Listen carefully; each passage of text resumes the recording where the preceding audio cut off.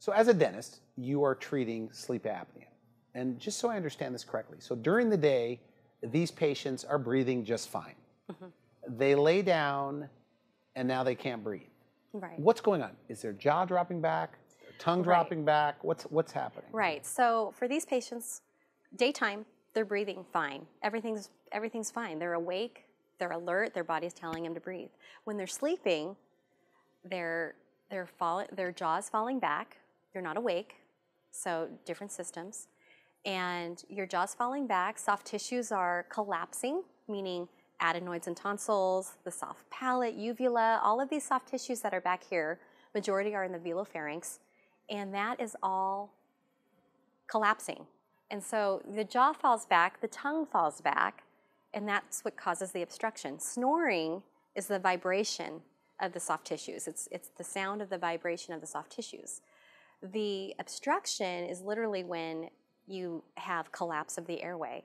And so that's what we're looking So at you're with apnea. splinting it out, splinting So it correct. forward? So the oral appliances are fabricated so that in alignment with your teeth, you're bringing the jaw in a comfortable forward position so that we're maintaining that patency of airway. So comfortably, we're moving the jaw, literally moving the jaw forward because the tongue is a, the tongue is attached to the jaw. We're moving it literally millimeters, exponentially can open the airway.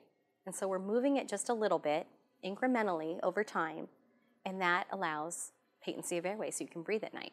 and you can prove this, I guess, scientifically with the numbers that these apnea Yes. patients are getting better. And how do you prove that? We do. So with some patients, we'll send them home with a sleep study and we'll check and see, you know, baseline without CPAP or without an oral appliance. We'll check what their number is. And this is, they've already had a diagnostic, so we're just doing this on our own in, in our office. And then we'll test them again with the oral appliance just to see where, where we're at. And it tells us everything from positional to the amount of sleep time to how long they were in REM, how long they it took to go to sleep, sleep latency, REM latency, positional. It's all helpful. So we have patients, Randy, that have patients that are actually waking up in the middle of the night 31 times, meaning 31 times every hour they stop breathing for 10 seconds or longer. Wow. And we're bringing them down with the oral appliance to maybe even five or six, seven, and that's making a world of difference in their sleep architecture. And they How do feel those it. number? How do those numbers compete with uh, CPAP? Is it equal? It's, it depends. With the patients, um, depending on the severity, uh, with mild and moderate, we can get them to really, really good levels. Okay. With severe, it, it's more challenging, but you know, it's not impossible. But CPAP is is 100% effective. But the issue is, is as long as the patient's using it. Are they using CPAP? So the medical doctors that send you patients, they have a stubborn patient that says, they call you and say, hey, look, they will not wear their CPAP. What can you Right. do for me?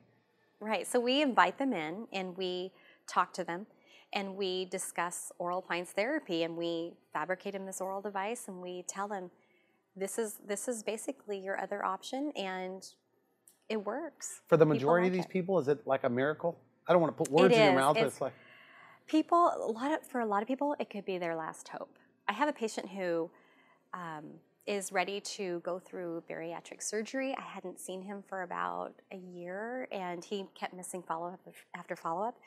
I literally had to call him and tell him, "You please need to come in. Please come in. I need to see you. I want to see you. We need to do follow up because, you know, he's very large, mm-hmm. and we needed. It's really important. He's not using CPAP, and when he's not using CPAP or the oral ad- device, we have an issue he could have a heart attack. he could die. So in the middle of his sleep. So he came in, we talked to him, and it took a lot of cajoling on my, my part, and we had a huge discussion.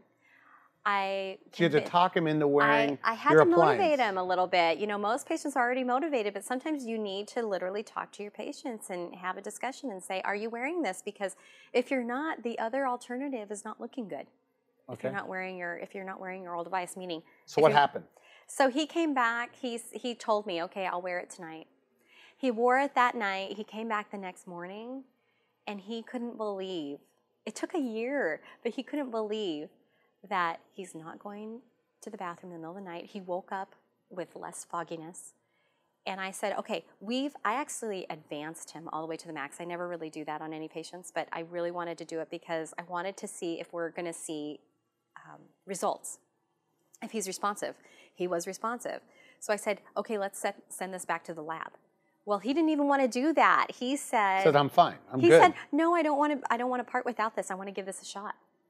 good. And so there we have it. so it took you one year of talking him into it. Yeah, because he missed his follow-up and now he feels better. Yeah.